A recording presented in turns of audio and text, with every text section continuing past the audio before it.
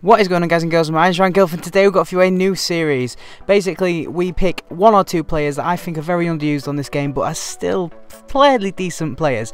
So, today we're going to eventually get to those players but I've built a pretty overpowered squad around it. Before the video starts, be sure to check out UT Coins for you. A link to their website and a discount code will be in the description below as always. In goal we've got Joe Hart, one of the most inconsistent goalkeepers on the game. He's so frustrating. One time he'll be really good and pull off a very good reflex save, and then the next time he'll be getting scored on from like 40 yards out. And very frustrating player on the game, but that's just my personal preference with him. I would have rather have used Petr Cech because he is the most overpowered BPL goalkeeper on the game. As you can see, we've got Kompany, centre back. There isn't really a lot wrong with Kompany. Pretty solid all round, 86 rated as you would expect. We've got the upgraded Koscielny now. I usually go for the normal version of Koscielny because I can't really tell the difference. And today proved pretty much the same. I couldn't really tell much difference between him and his other card, of course. It's only a rating of 2, but to some people it matters. To me, though, it didn't really matter much. We've got Bakary Sagna on the right hand side. I think I could have used any um, French BPL player there. I don't think there are many. I could have used him or is there anybody else from Arsenal right back that's that's a gold? I don't actually know.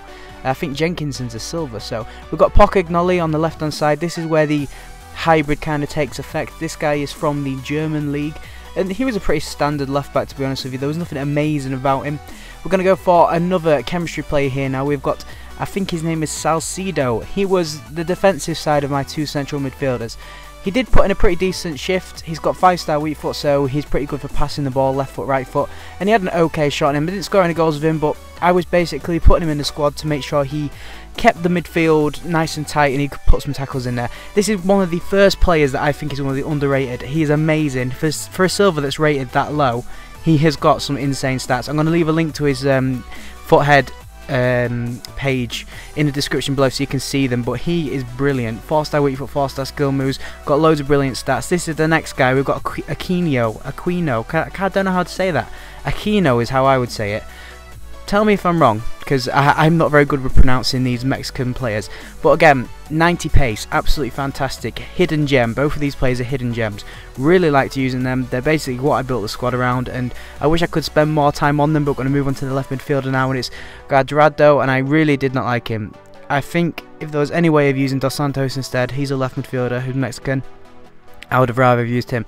That goal was by Koscielny, by the way, and it's assisted by Guardado, and that's the only goal I got of him.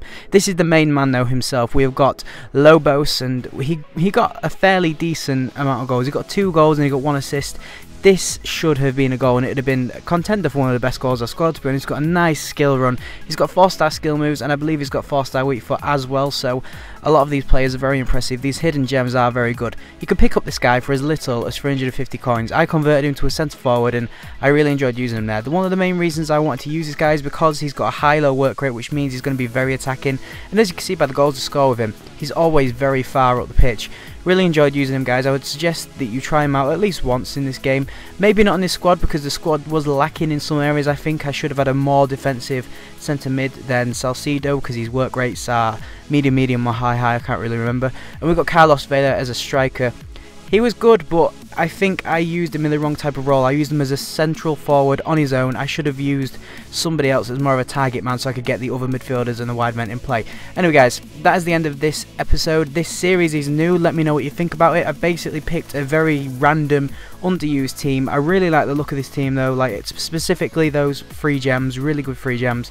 I'd advise you try them out in some random squad. You guys know what squads you like anyway. Can we hit 300 likes for the start of a new series? It'd be absolutely amazing if we did. And give me your opinion on this series and give me some players to use next time. So anybody that you want that you think is underused. For example, Kevin Kuranyi used that example earlier in a video. That was um, a 25k pack opening, the special packs. If you have missed that, a link to that will be in the description below. Be sure to check that out. If you if you're watching that after being sent from this video, remember to leave a comment on that saying that I sent you from this previous video, if that makes sense.